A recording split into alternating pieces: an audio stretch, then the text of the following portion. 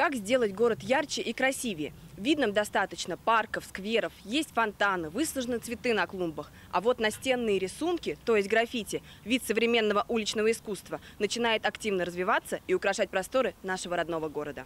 Стремянка, рабочая одежда, держатель для флаконов с аэрозольной краской и большое пространство для творчества. Рисуешь медленно – значит насыщенно, быстро – рассеянно и бледно. Тут целая наука. Разметка стены регулировка толщины линии при помощи насадок. Художник Никита Хомяков увлеченно занят работой, поэтому немногословен. Считается ли граффити искусством, если да, то почему? А почему нет? Ну, а почему да? Рисунок и рисунок. Искусство, искусство. Эмоции вызывает, вызывает. Все. Искусство для чего нужно? Чтобы вызывать эмоции. Эта эмоция явно вызывает. Дети бегают, смотрят. В теплосети более 50 объектов. Каждый год объекты красятся и становятся новым полотном для мастерства.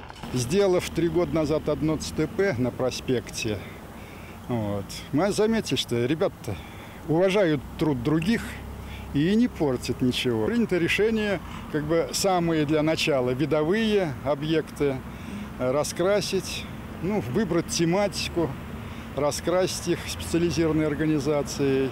Сейчас мы подготавливаем еще а, три договора на а, две будки э, в Дрожжино, в Новодрожжино, и одна возле Ростов-Дон.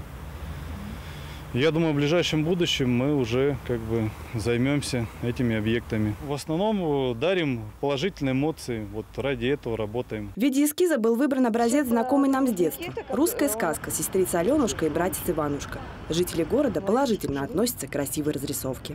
Нормально, хорошо, приятно даже. Неожиданно как бы площадку украсил. Ну, красиво. А сами не желали бы заняться граффити? Попробовать, да. Вот к этому я отношусь очень хорошо.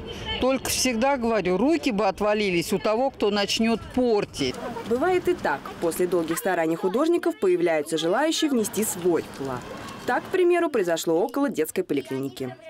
Ну, сначала первое какое-то граффити было. Мы думали, это будет красиво, ничего не, не, исп... не испортит. Но потом это все продолжалось и превратилось вот обклеенными объявлениями, э, нарисованное, разрисованное всякими баллончиками, красками. Может быть, горе-художникам стоит задуматься и направить свое творчество на эстетическую красоту, чем портить работы тех, кто вкладывает свою душу и делает город лучше. Диана Гаврилова, Виктория Филатова, Евгений Петров, Евгений Садовский, Екатерина Чернышова. Видное ТВ.